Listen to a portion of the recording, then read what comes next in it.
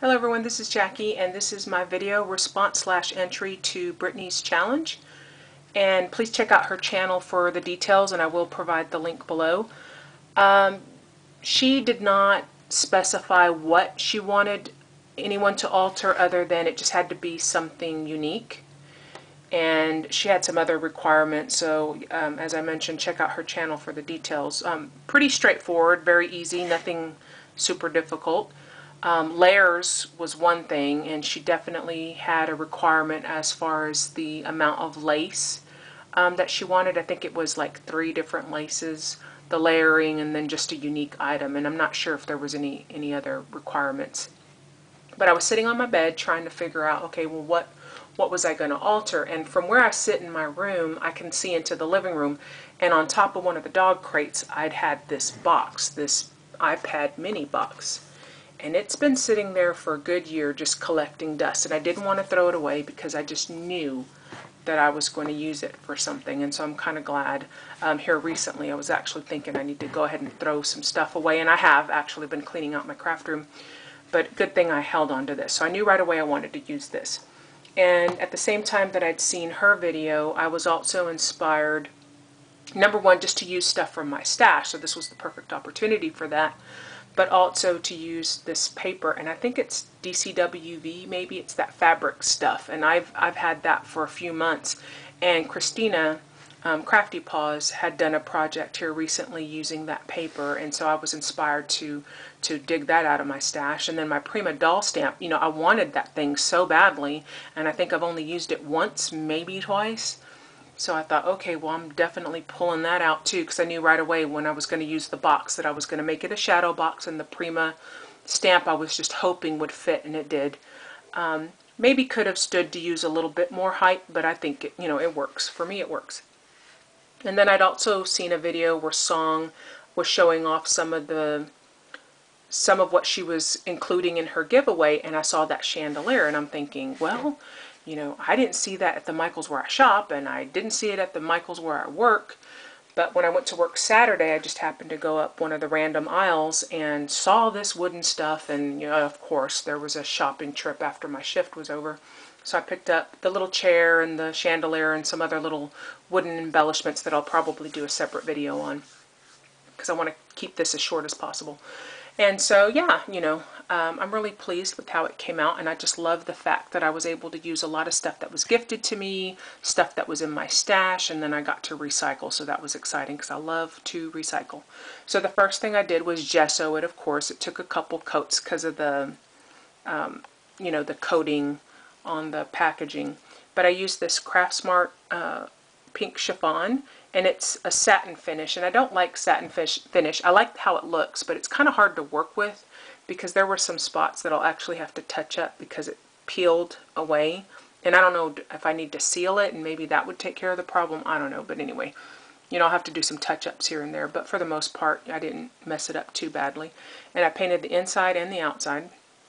I only papered the back of the box and then I added these doilies. I had this doily cut in half just sitting um, in a drawer and I thought, well, you know what, I'm going to use it.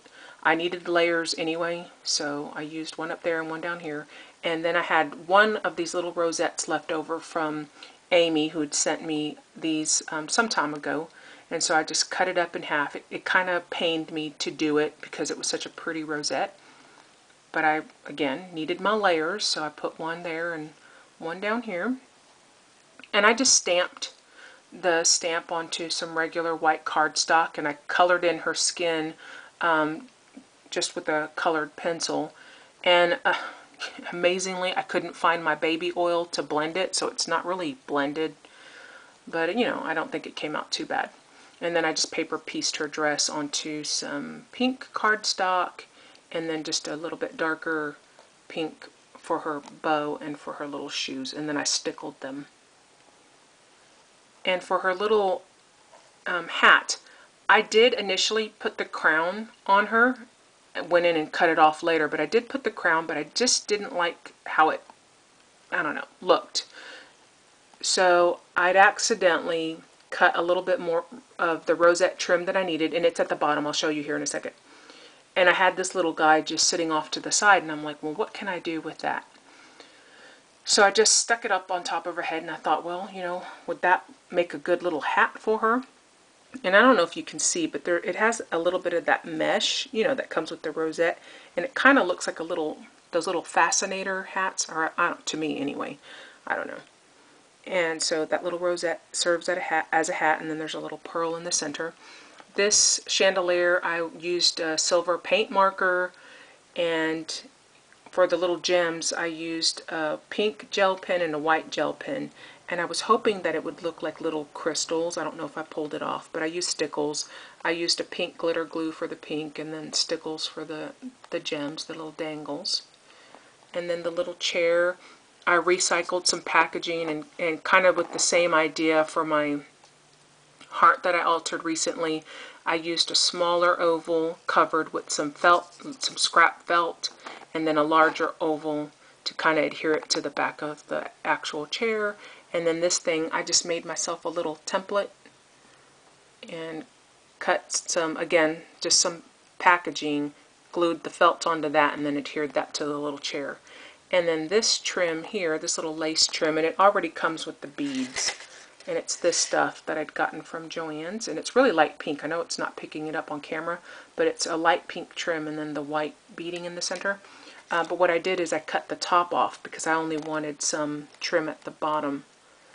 And then this is just a little uh, flower that I cut off of here. I've done that before because I wanted a small doily and you know didn't have anything small enough so I just cut off one of those little flowers from there and then that's um, a little doodad flower from Lily's store and the chair itself I just painted it white um, Craft Smart just Craft Smart white and then I did use some glossy Mod Podge. Um, I had very little bit, but it was enough to just kind of give the chair a little sheen there.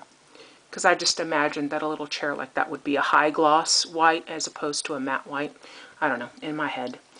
And then this trim, oh, well, I don't have it out, but it's a very light pink trim that was gifted to me by Paula, if I'm not mistaken. And then these little bitty white flat back pearls I'd gotten from Natalia's store and I think it's like my my my paper passion I think. Um, but it's just these really tiny flat back pearls. So I use that all around it. And at the bottom I know you probably can't really see that there's some of that rosette trim um, just at the bottom again just for my layering. And then I had the heck of a time trying to get something to hang from the top and I don't know I kind of butchered it um, a little bit because my big bite wouldn't reach all the way back there and it was just a disaster. So I had to just poke holes literally just poke holes. And then I just used some organza ribbon you know to hang. And then there's some some of this do I even have it out? Yes I do. Um, this trim from Joann's that I went all along the outside of the box and then I also forgot to mention that I used some some bead trim. This stuff comes from Hobby Lobby just to edge the inside all along there. I don't know if you can see that. And so yeah, I think it came out pretty cute. Um, I like it. I hope you like it, Brittany. And, and as I mentioned before, please go check out her channel um, and join in the fun. This is really fun. I got to use a lot of my stuff from my stash and recycle and so that was really really great. I, I had a lot of fun. So thank you so much for watching. Bye